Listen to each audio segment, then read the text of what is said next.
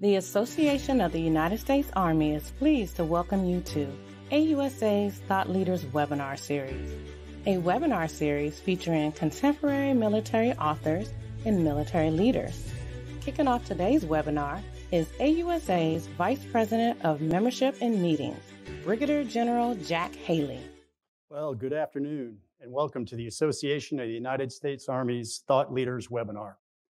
Thank you for joining us today and we appreciate your support as partners in the defense of our nation. I've just recently joined the AUSA team and am honored to be hosting today's tremendous panel of warrant officers. And if you didn't know, the warrant officer cohort celebrates its 103rd birthday tomorrow, July 9th.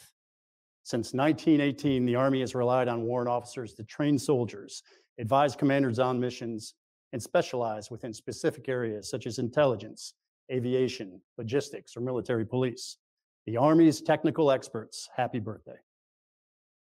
We are pleased to have joining us today CW5 Rick Knowlton, CW5 Patrick Nelligan, CW5 Teresa Domeier, and CW5 Jonathan Yerby.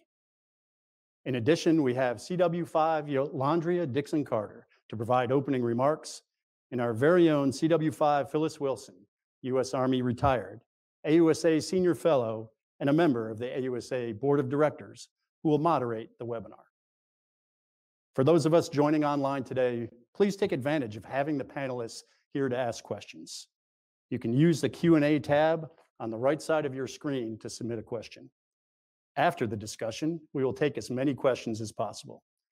You can also find the full bios of each panelist in the Handouts tab. Chief Wilson, thank you for joining us and for moderating this discussion. Thank you so much, sir. Well, good afternoon, everybody, and thank you for joining us. What promises, we hope, to be a very fascinating and insightful discussion. We'll kick off today's discussion with a few opening remarks from Chief Dixon Carter. CW5 Yolondria Dixon Carter is currently serving as the Assistant Executive Officer and Senior Warrant Officer Advisor to the Chief of Staff of the Army. In her role as Senior Warrant Officer Advisor, she chairs the Army Warrant Officer Council, which advises the CSA and other senior Army leaders on current and future development of the Warrant Officer cohort. We are so pleased and delighted to hear a few opening remarks from my friend and mentor, Chief DC. Thank you, General Haley, and thank you, Chief Wilson. Thank you she's more of my mentor than I am her mentor, but we will share. Um, it's really an exciting day. Good afternoon to each and every one of you, and a happy Thursday. It is the day before the Warrant Officer Cohort's 103rd birthday, and I am truly excited about what tomorrow is going to bring. But we need to start with today, right? So, it was July 1918 when the first warrant officers were sanctioned. There were about 40 warrant officers, and they shared one branch and one grade. They were specialized in Army mine planners, and they were a part of the, the Field Artillery Corps. And they were known as experts then and today we are known as experts. But not only are we experts today, but today we stand approximately 20, 27,000 strong leaders, combat operators, technicians, trainers, advisors, experts, and experienced warrant officers across three compos and 17 branches. I am incredibly proud of what we as a warrant officer cohort, what we're doing, but more importantly, what you out there, what you're doing each and every day to make a difference in our Army.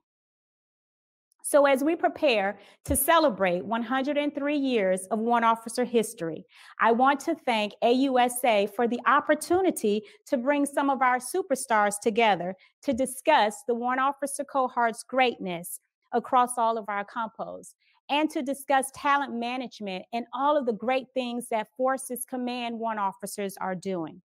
So we invite you to join us to share this webinar with a friend and get ready for a great and fruitful discussion.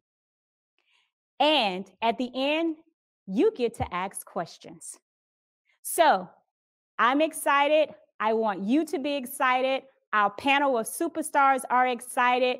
So I'm going to get out of the way so you can get on your way to a very exciting day. Thank you.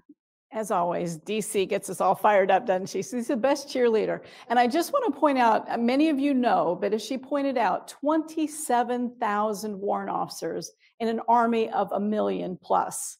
We're not many, but we make an incredible difference. And we're going to start with one gentleman that already has made a huge difference and continues to do so.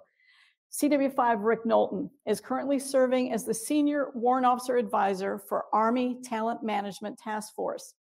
He has previously served as the Chief of Aviation Warrant Officer Assignments at U.S. Army Human Resources Command and the Command Chief Warrant Officer of the 1st Air Cavalry Brigade at Fort Hood, Texas. Chief Knowlton, you're up. Thanks, ma'am. And Thanks, AUSA, the whole team, for uh, providing this opportunity for us to talk warrant officer topics and uh, from the Army's Talent Managed Task Force. We thank you for this opportunity as well. So quickly, in the first five minutes, I'm just going to cover briefly the nine initiatives that we're working on at the team and then later on, obviously, we can go back and talk about any of the things uh, with questions. So the first three that I want to talk about are all at the legislative level. Two of them are proposals that we've submitted last year. That would be merit-based promote, uh, promotions and the opt-out promotion. And this is to align us with the 2019 NDA that the commission officers were provided with. Um, an update to that is uh, we were hoping to have that in the FY22. Uh, it was put on hold during the transition in December. The good news is it, it has been resubmitted for the 23 uh, FY process. So we're working our way through that uh, this summer to ensure that we have that opportunity in the future.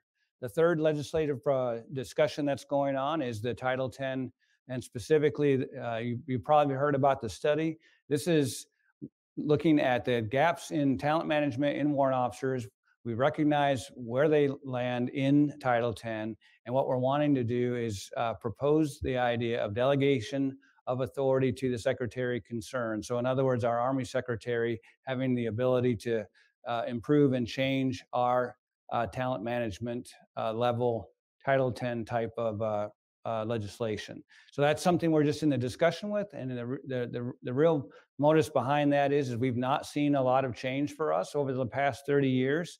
We are different than the other services, and this is uh, the ability or affords each service secretary to manage us the way that we need to be managed. The next thing, uh, the next three are three ADs. Uh, good news about two of those. The first one, the direct commission to CW2, that was piloted by the SF.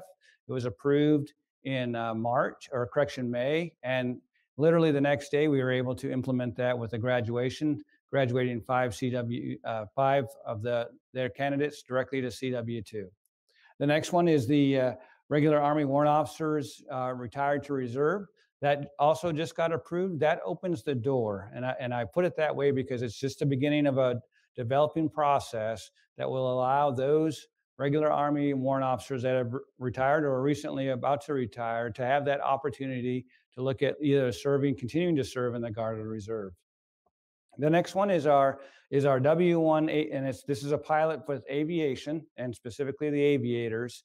Uh, and this is looking at 24 uh, months time and grade from the time that they are MOS qualified. And the reason behind that one specifically is we are seeing the length of the uh, technical and tactical uh, training and proficiency required. And this just allows for that developmental time as a W1. the next one is expansion of competitive categories. And, and what we're looking at doing here is currently, as you all know, we are uh, a category of aviation and the rest. The rest obviously being techs, but I say it that way because it's fine for aviation to have uh, their their OML, their strength be compared to one another, but it's an entirely different thing to have every other branch be competitive uh, t- with each other. Uh, so, you know, wh- where you have SF and ADA and uh, logistics compared to uh, everybody else, and we we really think we could benefit from opening that up to the potential COE type branches where you have nine uh, nine categories. The next one uh, is a selective continuation. This is something that's obviously not popular. I think we need to relook at how we implement that. We need to get more granular in uh, in who we are are saving at the at the especially at the W4 level because we're losing a lot of great talent at that level. And then at the same time, how we notify those individuals because after being passed over the first time, that the holding your breath for that whole entire next year, we're seeing great talent that just wants to avoid that limbo gets out when we actually could have told them that they were they were going to have a job whether they get promoted yet or not we don't know but to be in that critical short list of folks that are eligible for SELCON, it would be good for them to know they at least have a job. And then uh, the next one is, the, and this one's relatively new for us, and that's the Warrant Officer Diversity, Equity, and Inclusion. This is supporting Project Inclusion. This is something that we've kicked off here recently in the spring. And what we're doing is basically wanting to operationalize the Army People Strategy and the DE&I Annex. And with that, I think I've, I've used up my full five minutes, so I better hand it back over to Phyllis. Thank you. Thank you so much. That was a lot of information. And, and for some of the folks, they may not necessarily be tracking on exactly um, all of those terms, but that's a, a thing that means you have a, a, knowledge deficit in some of those areas. I certainly did as a W1 through W3. It was not until I was fairly late in my lifetime as a W4 and into W5 before I understood some of what he's now talking about. So just uh, just know that it's out there and there are opportunities for us to serve at incredible levels. So thank you again. Next up, CW5 Patrick Nelligan. He's currently serving, he's newly serving as the Command Chief Warrant Officer of the U.S. Army Reserve Command. In this role, CW5 Nelligan advises his commanding general, the headquarters staff, and subordinate elements on all matters affecting talent management, professional development, and quality of life for Army Reserve and beyond warrant officers. So, Chief Nelligan, it's to you. Thank you, Phyllis, and uh, great to be here with this high-powered team. I'd like to hit a couple of vignettes from the Army Reserve perspective. So, as we turn 103 years old as a cohort, the Army Reserve turned 113 in April. So by by uh, default, that makes us the youngest of the components on the call today. Um, not by my age, but by by the Army Reserve. But this is what we've learned um, since we've had warrants in our formation. We're incredibly versatile. We're incredibly uh, valuable. The best warrant officer formations are the ones that warrant officers care about other warrants. We for the most part, are dual career professionals. We have civilian jobs that we've been able to broker those skill sets into our reserve jobs and vice versa. And people like me that have stayed for almost 40 years, um, I, I completely attribute, completely attribute the success in both arenas to being an Army soldier and reservist. So, the segue I would like to bring up today, uh, specific to how we're broadcasting this message is, as Mr. Knowlton had pointed out, we're, we're looking at something uh, for the first time in 30 years that involves technical proficiency throughout the, the full spectrum of our, our uh, life cycle. But more importantly, how we set ourselves up to be relevant to the future Army requirements, but starting today. So, as those of you that are watching are either in our formation retired from our formation or perhaps considering coming in, it's an exciting time to go warrant and to be a warrant. And for those of you that retired, I would I would appeal to you to keep involved with us because the lessons you learned that you went out the door with we would benefit from hearing even though the, the tempo is changing, world is changing. Um, there's still bad guys. They still um, recount the model. We can't do it if we keep making the same mistakes over and over. You can help us with that.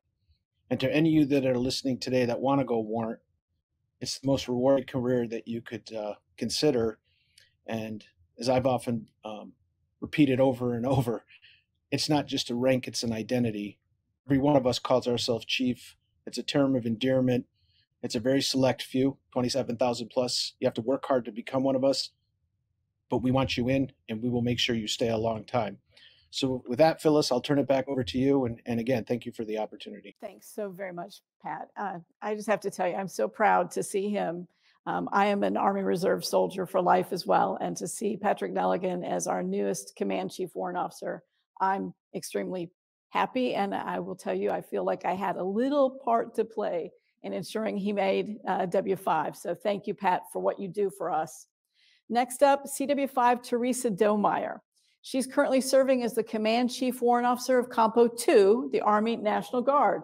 In this role, CW5 Domeier advises the Director of the Army National Guard on all matters pertaining to policies, programs, and actions concerning the warrant officer cohort across the Guard.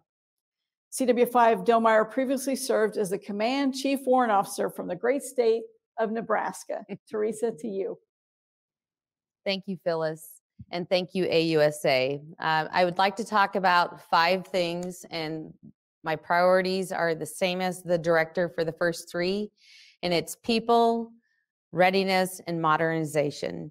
And people matter. You know, we we're thinking this Army directive is great because working with Rick Knowlton and Pat on this has really been an experience, and I, I think the National Guard is going to benefit, just like the Army Reserves, by taking these talented um, active Army personnel to come in and join our ranks. And there's also other opportunities in the full-time sector as the technicians, you know, Title 32, Title 5 that we'll probably get into later, but it's a it's a great opportunity and you know to talk about. And then readiness with um, the readiness with training our uh, combat, you know, the the warrant officers are the combat mu- multipliers. And so we want to make sure that we all train and with the modernization on, on equipment of the newest with all three compos together. So I think it's very, very important that we all talk about, you know, the future of changing the PME and making it better for our up and coming uh, senior warrant officers because it's not about us anymore. It's about our future leaders, and we want to make it better. The fourth thing I want to talk about is our RTI programs. We have 27 states that have phase one and train it once a month for five months for the RTI. And then we have two right now, uh, two phase two sites, and it's Camp Atterbury, Indiana, and they do two straight full weeks.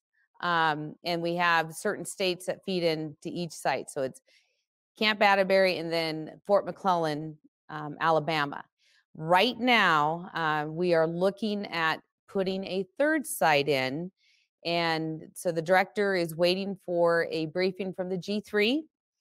And we have four states that are interested, which is California, Arizona, Idaho, and Washington.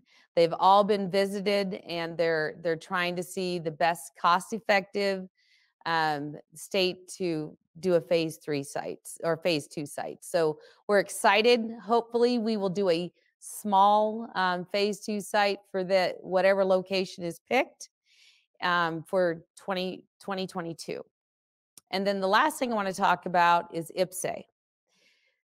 All 54, 50 states, three territories in the District of Columbia, we are all on IPPS-A. And it's important that we work together with Compo 1 and 3 to ensure there's a easy transition and that there's if there's any kind of problems, we are there. We have a great team of experts in IPPS-A. So we are here to work as one team, one fight to ensure that we will all be on one system soon. Back to you, Phyllis. Thanks so much. And I'm going to go a couple of points of clarification because I used to have to do it a lot. RTI, Reg- Regional Training Institutes, and she's talking about phase one and phase two of Warrant Officer Candidate School just to be clear which program she's addressing with regards to. Uh, I've been to many of those graduations, um, certainly from each of the states where they might only have five or 10 students, and also then where they have the large ones at Camp Atterbury in particular, where there might be nearly 200 students graduating, typically from the Guard and the Reserve. Um, but what we would love to see, honestly, from my own personal opinion, I'd love to see some regular Army Compo 1 soldiers going through as well, because it is identical. It is overseen completely by the Warrant Officer Career College and uh, First Walk down at Fort Rucker, Alabama, which we all love so very much. So next up and last up before we go to the Q&A session is CW5 Jonathan Yerby. He is currently the Senior Warrant Officer Advisor for United States Army Forces Command. Chief Yerby's most recent assignment was as the 6th Command Chief Warrant Officer for Combined Arms Support Command, CASCOM, at Fort Lee, Virginia. And prior to that assignment, he was the 14th Regimental Chief Warrant Officer of the Quartermaster Corps, Fort Lee, Virginia. Chief Yerby, take it over. Thank you, Phyllis. Before getting started, I'd like to say what an honor it is to participate on a panel with such distinguished leaders. Also, I'd like to thank you, AUSA, for holding the Thought Leaders webinar series and hosting a warrant officer panel on the eve of our 103rd birthday. I'm humbly grateful for everything that AUSA does for our soldiers, civilians, and family members. And also thank you, uh, Brigadier General Haley, for uh, hosting today's event. So let me start with a little bit about where I serve. FORSCOM is the largest United States Army command and provider of expeditionary, regionally engaged, campaign capable land forces to combatant commanders. Forces Command trains and prepares a combat ready, globally responsive total force in order to build and sustain readiness to meet combat, combatant commander requirements. The vision of Forces Command is to provide combat ready and globally responsive total Army forces that are well led, disciplined, trained, and expeditionary that will win in a complex in a complex environment. So briefly, I want to go over Freedom Six's, RCG's priorities. They should not be of any surprise to anyone because they are in line with the Army's priorities. Number one, people. Number two, readiness. Number three, modernization. But the line of efforts that we're getting after for the people priority is care of for soldiers, civilians, and families, and strengthening leader development. That's that's what we're doing here today. Uh, readiness, deliver decisive total army readiness, and master the fundamentals that that that that's that's what a warrant officer does uh, in a nutshell, right there. Um, and number three, modernization: empower and execute reform, inform and implement the future force. To get where we need to be in the future, we must start the journey now. So, looking forward to the Army aim points for 2028 and 2035, the Army expects warrant officers to develop deep MOS centered knowledge, skills, and expertise throughout their careers. Keep pace with modernization and pursue mastery in our technical specialty. As the Army's requirements for technical and tactical experts continue to grow, aligned with the highly technical nature of Army modernization programs and the evolving capabilities of tactical operations, the development and education of Army warrant officers must keep pace with modernization. The warrant officer education system must modernize to keep pace and not get left behind as an afterthought. The problem is the Army's current continuum of warrant officer professional military education does not provide career long focus on MOS centered expertise. The Army expects warrant officer expertise to continue to develop toward MOS centered skills and knowledge and mastery throughout the career developmental model. However, warrant officer capabilities, expectations, and even employment drift away from MOS centered tech, technical and tactical development towards general staff officer skills at the CW3 level and above. A gap exists between Army leader expectations that senior warrant officers be masters of their technical specialty and up to date on the latest technologies and, and capabilities, but the warrant officer education actually shifts at the, at the mid grade and senior levels to align with general staff officer skills. This gap will continue to widen if Warrant Officer PME is not modernized to account for the career long development of the Army's experts in a way that we will keep pace with modernization efforts and evolving threat capabilities. The goal that I, that I would like to talk about in the question and answer the goal is to modernize Army's warrant officer professional military education for a more effective and efficient continuum of education tailored to MOS centered technical and tactical expertise that increases learning across various methods of delivery, supports all Army compos, and better meets the personal, functional, and career professional development requirements of the Army warrant officers, nested with the Army People Strategy. And with that, I'll stop talking and uh, yield some of my time to turn back over to you, Phyllis, for the question and answer portion. Thank you. We all um, can agree with your exactly many of your words there. That was spot on. I know personally, I went back to, uh, I'm an Intel warrant, and I went back to Fort Huachuca, and E4s knew more about my MOS than I knew about my MOS as a W5. And, and that was one of those things where you have to raise your hand and say, but fortunately at this point, I was able to ask for an a la carte menu of the, the, the things that I knew I was lacking in, and I could get brought up to speed on that again. But that's not something that's afforded to everybody. And, and I, I agree. I think our PME, I, I'm getting a lot of head nods over here from the panel as well. So Patrick is back as well, Chief Nelligan from um, Army Reserve. So we're going to go to the question and answer session. Um, I'm going to start with a couple of these that thank you guys. You can go to Q&A and ask more questions at this point, um, but I'm going to start with one that I'm seeing is the training for a W1 aviator question being asked is, is it now 24 months as opposed to a year? And I think obviously Rick can certainly answer that, but a quick aside, there are some other MOSs that our training is incredibly long. Yep. And the problem is, as soon as you graduate from, and now you're MOS qualified as a young warrant, you're up for promotion to W 2. Well, you know, you're a wobbly one for a reason, right? right. And so Exactly if you'll right. talk about how long the schooling is Yep. and why it's important that maybe they get a little bit more time as a one. Absolutely.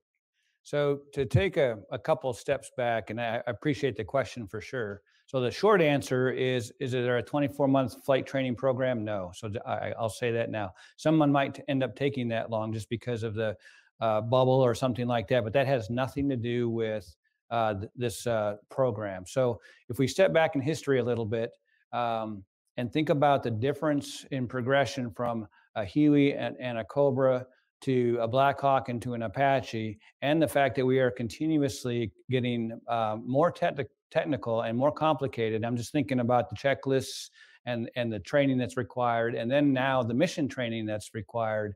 What we're really we're seeing, and this is came out of uh, a couple of other uh, types of um, inspections or investigations, and some uh, over the arching aviation uh, requirements that were being addressed uh, there was discussion about just making a flat all across the board three-year time and grade requirement. And the reason why that wasn't really the uh, direction that we wanted to go in was simply because, again, that's an industrial age approach to managing our warrant officers.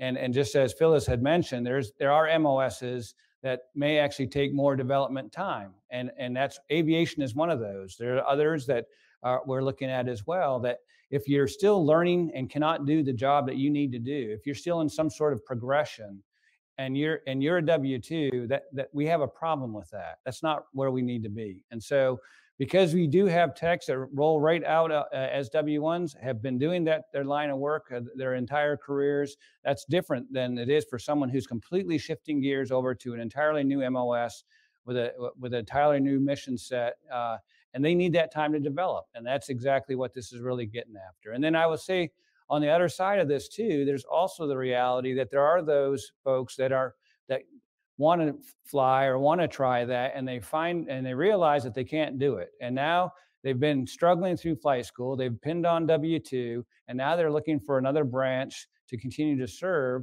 and it is harder to ask another branch to accept a W 2 that has no MOS qualification as opposed to someone that is at least still a W 1 that we can let them have a restart uh, in, a, in a new program. Thanks. Thank you Good so question. much. I hope that that helped to clear up a few muddy waters for you guys. So I see Doug had asked the question. I think I know exactly where that's coming from. But what would be the maximum age for warrant officers to serve in the Guard or Reserve after a regular Army Compo 1 retirement? Does it still stay the same? S- So I, I think this could be answered by more than one of us. Yes. And, and I want the opportunity to just stay, uh, so intentionally, what we're not doing, when I say we on the task force, we're not prescribing how the two compos are going to do it because it's going to be unique to each compo. They have their own set of requirements and it's absolutely up to them to solve how they want to run their program. So uh, we opened the door for, for them. That was what the Sec Army did when she signed uh, uh, this uh, Army directive, and now they have the ability to manage it as needed. Thanks. And, and as Compo 2 and 3 answer this, if you will also, I see another question asking about, is there a, a direct pipeline for regular Army retirees to go into the AGR? And they say, in, in addition to, I know, but that's, please address that as well as, thank you.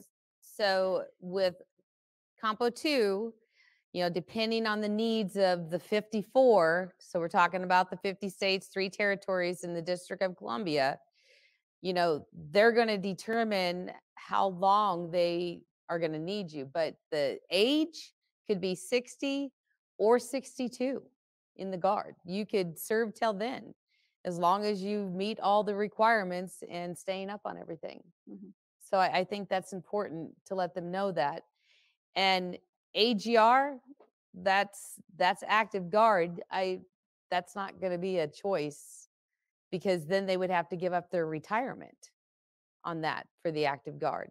So, but there could be opportunities for as a technician, a GS5 or a, you know a GS32. No, Title 32. Sorry, Mhm. Title 5, Title 32. Um, those are opportunities, and uh, but again, you got to be in the guard to be able to have that opportunity to to be a mill tech.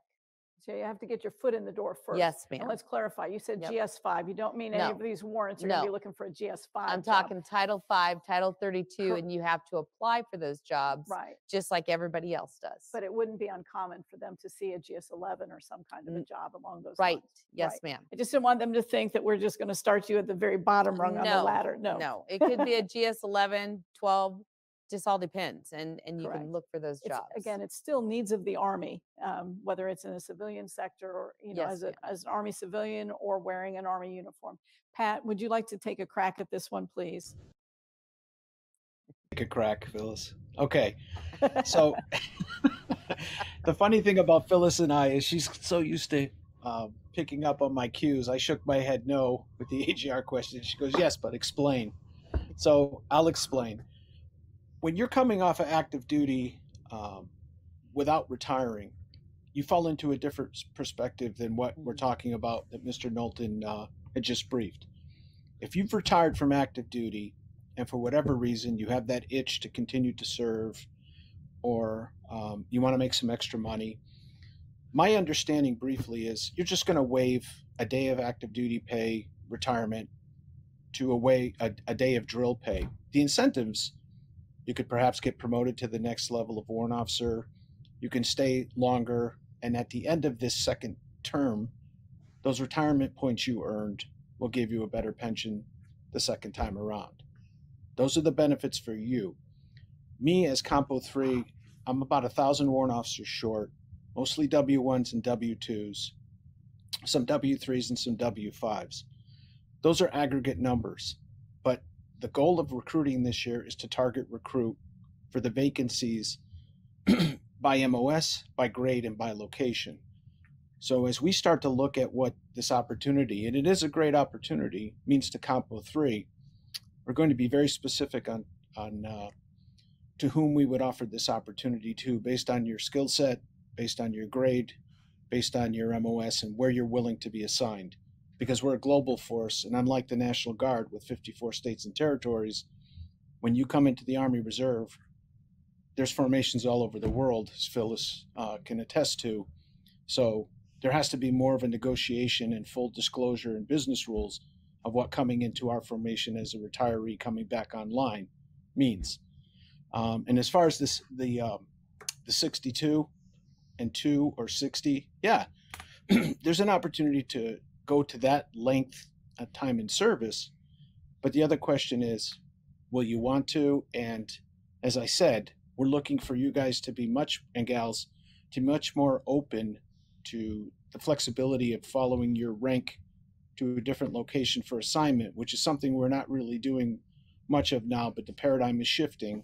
Warrant officers are going to be moving to different assignments in the Army Reserve, and, and these active retirees would be expected to, to fit into that role. Uh, the final piece about AGR, excuse me, Teresa hit it on the head. If you come into our formation, you're coming as TPU. We have an AGR program. It's very particular in how you assess into AGR. Your first time out of the gate, you're in a three year probationary model. And that's not really filling the needs we have in the Army Reserve end strength. We're short TPUs, and that's what we'll be looking for. So I'll turn it back over to you, Phyllis. I hope I covered all of it. Thanks, just Pat. And for those of you that don't know what TPU stands for, that's a troop program unit. That's the the the misnomer is it's the one weekend a month, two weeks a year. It's a total fabrication. it's much more than that. But that's where we do need. And but we have a, both in the Garden Reserve about 15 to 18 percent of our formations, some more, some than less, but on average, are AGR. That's your full time. So think of a a, a a motor pool unit, okay? We have maybe eight or nine people that are there to manage it Monday through Friday. And one weekend a month, everybody else that belongs to that unit comes in to do all the motor maintenance and everything else that needs to be done. Oh, and by the way, those Army mandatory required trainings and everything else that has to happen all must occur on that one weekend a month. So the balancing act, and that's why those AGRs are so incredibly important to us because they hold down the fort, pun intended, Monday through Friday, and they also work the drill weekends. Um, so they do all of those kind of things. And, and it is a very selective piece. We've got to be the right temperament, the right skill set, the right everything in order for them to cover down. And they also are PCS. So um, it's not like you're going to sit sit home and you pick the state the the city, whatever it is, and think you're going to live there for the next 15 years in the Army Reserve or the National Guard. That that is not always the case. Um, another question that I see, and I thank you, General Waff, for tuning in. He loves our, our warrant officers. It says, will the U.S. Army Reserve also look at the same nine fields of promotion for the tech branches, which the talent management, which uh, Chief Knowlton mentioned? And how would the different branches be aligned in those nine fields? So before I ask you to answer, Pat, because I've forgotten, give us a couple of what those nine fields are, please, Rick. Yeah. So the thought process behind those nine fields, it's actually quite simple to answer this way. It's the nine centers of excellence. And the idea of it is, is that if you're if you're expecting specific KSB's requirements uh, for promotion, where are they being trained and brought and developed and that is inside those CoEs so that's the idea of getting ownership of the different um, categories. Okay perfect. So so pat are you ready? Is again will the army reserve also look at those same nine fields of promotion for the tech branches in the army reserve? Yeah i, I think i think rick just did a very good job of clarifying. It's really nothing different than what we're doing right now in combat service combat service support mos's um, the the, uh, the identifiers that Rick is referring to, we're already gauging and tracking as far as the um, ability to promote. If I understood General Waff's question, in the Army Reserve, that's going to be a key uh, key facet of how we move forward. Um, get the right names in the right spaces at the right rank, and have career progression that involves moving and taking care of the people that do everything they're expected to do throughout the the life cycle of a warrant officer is going to be the promotion model we're, we're adopting. In fact, we're adopting it now, but now we're target recruiting to make that happen. Thanks, Pat. Jonathan, this one I'm going to throw your way for starters because it aligns with some of what you spoke to. As we advance in rake and different echelons, can the question is, can we be eligible for strategic PME such as how the Army runs, Command and General Staff, or the War College? Are those things that are being looked at in the future? Uh, yeah, so that that's a great question, and I think whoever um, uh, you know wrote that question because uh, very ins- insightful. It can tell somebody switched on there, and so we are exactly talking about that where you know we expect our warrant officers into the senior grade CW4 and CW5 to be very technically uh, proficient and be a mastery of their technical uh, specialty. But then there's a certain level that uh, they start becoming more strategic, right? And not every W5 reaches that level, but but some do. And so right now, there's currently no additional education available uh, for those CW5s that move on beyond uh, that that initial level into the strategic roles. And so what we're talking about is exactly what that that person uh, mentioned is is uh, you know providing some courses like how the Army runs is a, is a great example. Um, I was lucky enough to be able to attend the uh, senior leader seminar, another great strategic level mm-hmm. course um, uh, to to to kind of fill that kit bag of that now strategic level leader. Although you know in our prior 20 some odd years we were more you know execution level you know tactical and operational to kind of help bridge that gap into those strategic roles so great question and i hope i was uh, uh, clear on the answer there thank you Thanks, Jonathan. And that was another one of those things with, uh, I attended, I was one of the first warrants to attend the brigade level uh, pre-command course out at uh, Fort Leavenworth, right? And that was really in- interesting. I'm the only warrant in this room of 06s and sergeant majors. And at first I thought, what the heck am I doing here? But as we came to our collective exercise near the end of the, the, the training session, some of the things that we think of from our warrant officer foxhole really, I think, help them to understand where, uh, certainly within the combat aviation brigades, the special forces groups, and other places, we're seeing our warrants being either senior warrant officer advisors or, in fact, command chiefs earlier, and and and we just don't have we don't know what we don't know, mm-hmm. and so having those kind of things, that was really to, again to Jonathan. Thank you for that answer. Um, I'm going to go quickly on this. Will other branches be afforded the opportunity to go direct commission? I don't know where we talked about direct commissioning. We, we talked didn't. about, I think maybe they mean direct, oh, well, you aren't commissioned till you're a two. So maybe yeah. that's what they're talking about, other branches besides special forces. Yeah, so I, am not sure if it's talking about direct to uh, commission officers, but if it is about the direct to CW2, that the short answer is yes, we are looking to do that because there's other appropriate uh, branches that that might be a way to incentivize the senior NCOs to make that uh, switch over to warrant officers. Okay, this last one, we're, I'm going to start a little early because it's a long question, and I want all four of you to please uh, walk us through this one. So the question is, how would you characterize the warrant officer of 2030 and beyond? Warrant officer competency and technical proficiency and warrant officer recruitment, assessment, development, retention, um, as it applies to the broader Army strategy. How do you compete with a dynamic and near peer what's that warrant going how do we get them ready for 2030 because it's going to be here before we know it. Yeah so that's a that's something that's uh talked about. Anytime we're socializing any of the uh, initiatives out there one thing I, I would certainly add is if there's one thing it's clear for us as warrant officers as a cohort moving forward our time is is in front of us because this is where our technical and tactical competency is going to really make a difference. We're, we are getting more complicated clearly as we upgrade into the, uh, the future of cyber and AI and all these different things.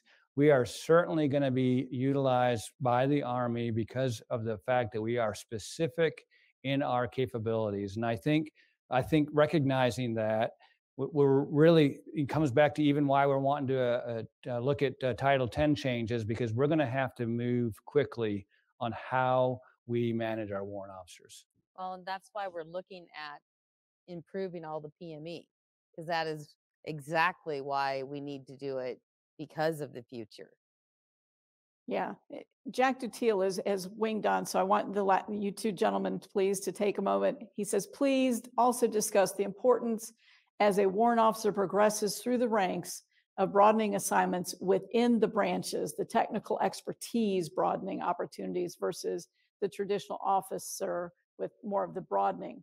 um, outside of necessarily their their career field.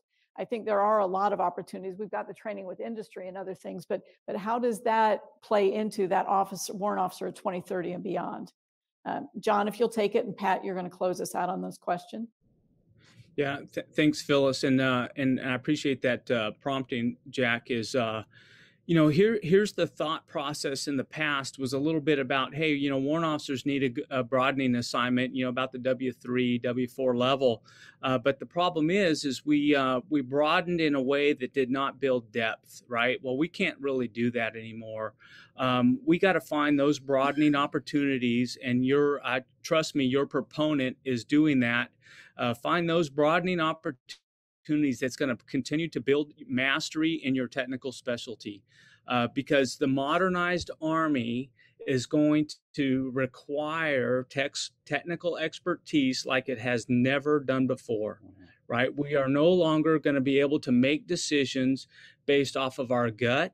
We're going to need data right? And we're going to need the AI to help us uh, cipher uh, through the data of, to find out what's important and what's not. Um, you know, our of course, you know what what separates warrant officers is, is, three things, and I think these things are are even more important as we modernize. And it's it's coaching and teaching, it's mastery, and it's recruiting those that show the uh, skill and the will to be able to do what you're doing, right? Uh, and so if we do that, I think we'll be just fine. Uh, but we do have to recognize that we are at an inflection point to modernization, and our PME will get left in the dust if we don't do something about it. And I know I got to do a shout out to Steve Kilgore, the CAC CCWO, because I know he is championing this cause. And and I just just so everyone, and I'm sure everybody knows, but you know i'm i'm all in for this because FORSCOM needs this the you know the army needs this um, and so with that i'm going to pass it over to you pat. Thanks john. So let me just take another stab at this from a different angle. The future state for warrant officers to me means that these these current mos's based on grade uh, and technical skill I believe are going to get more refined, and we're probably going to see more MOSs emerge. I'm a medical maintenance uh, warrant health services. I can fix X-ray machines. I can fix lasers. But as medical records have evolved and gone electronic, there's a whole subspecialty, medical informatics, that in my arena could be a completely different warrant officer MOS. So if we're going to make more warrants and we're going to become subspecialized, it's critical of what John was just talking about the the mentorship, the the ownership of how the future generation comes into this and grows. And I would submit to you, you know, in the old days, they used to have apprenticeships where you had a master and then a, a, a newly trained, and there was a certain rite of passage, X amount of years, where the apprentice would learn the master's skill set and then become a certified master. When we started this go around with W5s, we had master warrant officers. But more importantly, as you experienced, Phyllis, when you were in and went to Huachuca and saw that these brand new soldiers had literally more skills and more technical experience, I would submit to you that mentorship is going to have to go both ways in the mm-hmm. warrant officer cohort of the future. So we have these masters, like uh, our, the seasoned group you have as panelists today, implying and implementing best practices, uh, philosophical, warrant officer broadening type of thoughts, but it's the young ones that are coming in that are highly skilled and and and dealing with the most advanced systems, and they have to keep us green and teach us. Even though the PME is changing, there's still something to be said about the skill sets and what this generation that's coming in has that we didn't. Um, from both, you know, the video game perspective and they're not technologically uh, scared to learn new things. So that's where I think the warrant officers are going to evolve. We can't be calling ourselves technical experts if we're obsolete. So the mentorship's going to have to go both ways. And, and again, I believe there are going to be much more warrant officer specialties than we currently have. And thank you. Wow, there's your prediction, folks. We could keep going. There's so many more questions. We could have fun for another hour, but sadly, our time is up for this session. So I just want to thank all of these incredible panelists for sharing their insights, their wisdom, and hopefully we have 100 people I'm seeing as attendees. Hopefully you're getting something out of this as well. But I'm going to now turn it back over, sir, to General Haley uh, for some closing comments. Yeah, thanks again, uh, Phyllis, and thanks again to all of our panelists. I mean, what a great discussion. I know uh, personally I've leaned heavily on warrant officers uh, throughout my career, and hearing these senior warrants discuss these issues uh, makes me confident that the next 103 years are, are going to be very bright for our warrant officer cohort. Uh, before we part, I'd like to inform you of a few upcoming events. On uh, the 21st of July, we will host a Thought Leaders webinar with a panel discussion on holistic health, featuring General Retired Bob Brown, Lieutenant General Walt Piatt, Lieutenant General Scott Dingle, Lieutenant General Retired Patty Horoho, and Colonel Deydre Teyhen. On 22 July, we will host a noon report on Army Women in Tech, featuring Major General Maria Barrett and Miss Nancy Kreidler, sponsored by Ernst & Young. On 3 August, we will host another noon report on Army Climate Strategy and Action Plan, featuring General Retired Bob Brown, Lieutenant General Walt Piatt, and Miss Amy Borman. And the AUSA annual meeting is back in person this year. It takes place 11 to 13 October here in Washington, D.C., and we look forward to seeing you there. With such great speakers and events scheduled, I hope you can join us either for an upcoming webinar or in person at AUSA's annual meeting. For more information about any of these events or to register, please visit our website at ausa.org. And one last event we want to highlight is the Army 10 Miler, as AUSA is a founding and co lead sponsor of the race. And as part of the race, Chief Wilson would like to share and spotlight the CW5 team. Thank Chief? you so much, sir. Yes, so for about five years now, we fought because I saw that there was actually an E9 only group of teams and I thought, well, there's got to be a way for us to have CW5 teams that run. We only compete amongst ourselves with other CW5 teams. So for five years now, we have had a number of W5 teams on the Army 10 miler that finish out within our group, uh, first, second, and third place. The first few years, it was always those special forces guys. And what can I say? But the intel is running strong. So here's the challenge amongst that I'm putting out there on the floor to all of you. So the W5s in the House, either currently serving or retired, form a team, up to eight people per team. Get them out there and running. We've got 93 days before the Army 10 miler. And, uh, and let's see who finishes strongest out of all of our Army Strong CW5 teams. And for those of you listening that are not yet at the W5, just know we do have enough W5s to fill out a number of those teams. We still run, we're still going strong. And as you prepare your career to make it to CW5 as well, we encourage you to also keep these teams going strong into the future. Also, as an AUSA Senior Fellow and a board member, I want to thank all of you who support us with your membership because membership truly matters to us.